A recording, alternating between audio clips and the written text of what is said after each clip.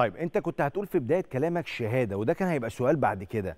هل محمد صلاح النجم الكبير ده النجم العظيم ده الأسطورة ده يعامل معاملة خاصة في معسكرات المنتخب المصري؟ وانت أكيد بتسمع الكلام ده كتير وإن محمد صلاح له معاملة خاصة وإن محمد صلاح ما حدش بيتكلم معاه وإن محمد صلاح ما حدش بيقعد معاه وإن محمد صلاح بيطلب وبيتنفذ طلباته. هل محمد صلاح له طلبات خاصة في معسكرات منتخب مصر؟ خالص خالص آه. خالص.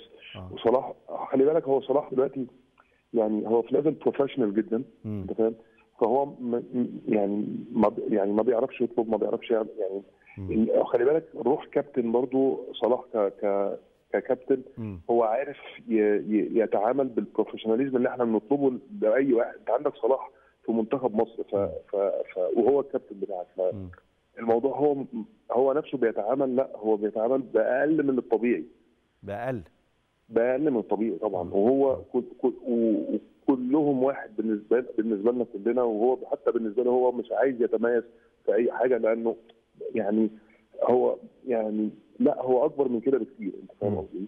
فلا بصراحة يعني ربنا يكرمه ويوفقه لا هو إنسان على المستوى الشخصي هايل تمام وإنسان متواضع جدا وإنسان بروفيشنال جدا في التعامل. فهو يعني ربنا يكرمه في حتة ثانية خالص طيب